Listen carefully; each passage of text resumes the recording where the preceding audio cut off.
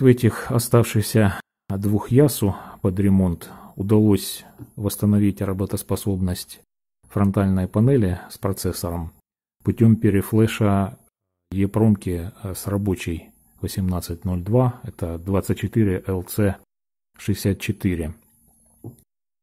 То есть, в принципе, если бы станция была полностью комплектна, одна и вторая, потому что что у той, что у той, шоколадок нет, они пустые.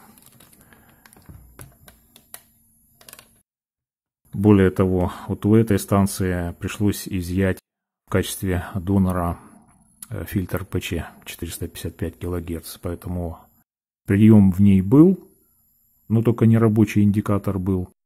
Сейчас рабочий индикатор, но уже отсутствие приема. Потому станции пока откладываются в долгий ящик, либо когда фильтры появятся, ну и, соответственно, шоколадки.